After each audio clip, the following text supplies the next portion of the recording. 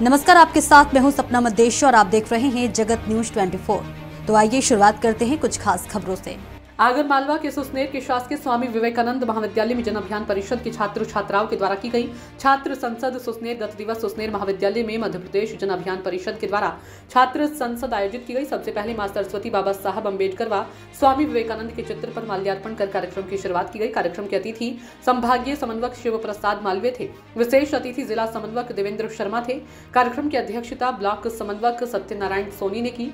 छात्र संसद मध्य प्रदेश विधानसभा की संरचना अनुपम छात्र छात्राओं के द्वारा विधानसभा अध्यक्ष, मुख्यमंत्री, नेता प्रतिपक्ष, मंत्री, विधायक की भूमिका का निर्वहन किया गया।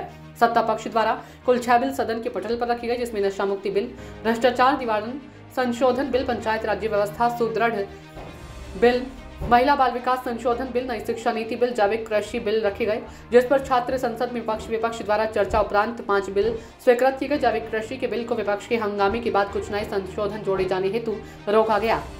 जन अभियान परिषद के ब्लॉक समन्वयक सत्यनारायण सोनी के अनुसार इस प्रकार के कार्यक्रम से नई युवा पीढ़ी, युवा छात्रों में लीडरशिप डेवलपमेंट होती है, नेतृत्व क्षमता बढ़ती है। एमएसडब्ल्यू और बीएसडब्ल्यू के छात्रों के द्वारा ये कार्यक्रम आयोजित किया गया। विधानसभा रूपी सदन में चर्चा की गई तथा पाँच बिल पर सहमति बनी। एक बिल संशोधन के लिए रोका गया। इस प्रकार छात्र संसद का कार्यक्रम मध्य प्रदेश में तीसरा कार्यक्रम आयोजित हुआ। मध्य प्रदेश आगरमालवा से मनीष राठौर की रिपोर्ट। ऐसे ही अपडेट्स के लिए देखते रहे जगत न्यूज़ 24 और हाँ हमारे चैनल को लाइक, शेयर और सब्सक्राइब करना बिल्कुल ना भूलें।